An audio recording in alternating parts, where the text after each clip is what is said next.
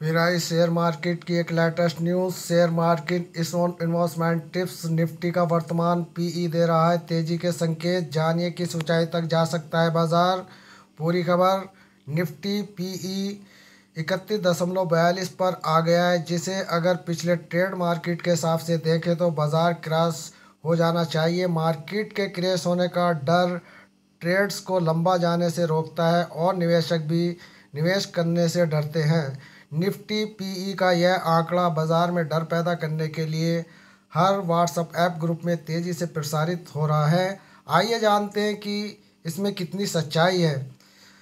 जब भी Nifty PE अट्ठाईस के पार गया है तो बाज़ार में मंदी दिखी है। पिछली बार जब निफ्टी पीई अट्ठाईस दशमलव सात पर आया था, जब मंदी आई थी और हमने आपको बारह हज़ार चार सौ पर लॉन्ग एक्टिव एग्ज़िट करने का संकेत दिया था। हम दस हज़ार से अधिक के स्तर पर थे और बारह हज़ार चार सौ का स्तर एग्ज़िट के लिए एक अच्छा स्तर था। हमें वायरस के प्रकोप के बारे में कोई अनुमान नहीं था और फिर निफ्टी गिरकर सात हज़ार पाँच सौ तक आ गया। फिर हमने बाज़ार को बारीकी से ट्रैक किया और हमने सात हज़ार पाँच सौ पर दस हज़ार पाँच सौ तक के स्तर के लिए भारी निवेश का सुझाव दिया। इसके बाद हमने निफ्टी को दस हज़ार पाँच सौ के ऊपर आते देखा। हमें आर आई एल के स्टेट, स्टेक सेल्स का भी कोई अनुमान नहीं था, जिसके चलते बाज़ार में काफ़ी तेज़ी आई और यह ग्यारह हज़ार तीन सौ के स्तर पर आ गया।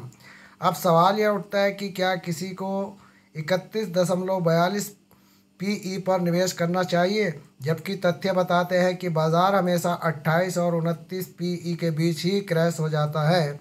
इसलिए हमको, हमने पाठकों को के सामने सही स्थिति रखने का फैसला किया है। आइए देखें, निफ्टी पीई अनुपात कौन कितना बता रहा है?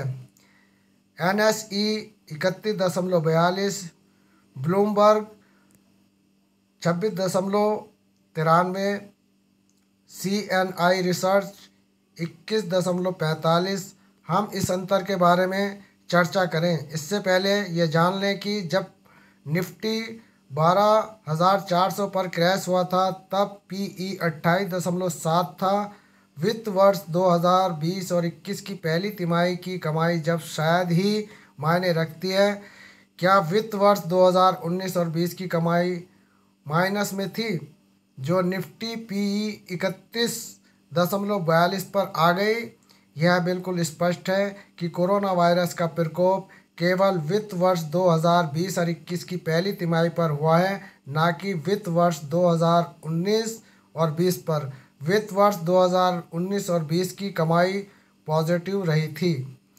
तो दोस्तों, ये बड़ी लेटेस्ट न्यूज़ आपको दैनिक जागरण में देखने को मिल जाएगी। खबर पसंद आए तो चैनल को सब्सक्राइब और लाइक करना ना भूलें। धन्यवाद। जय हिंद, जय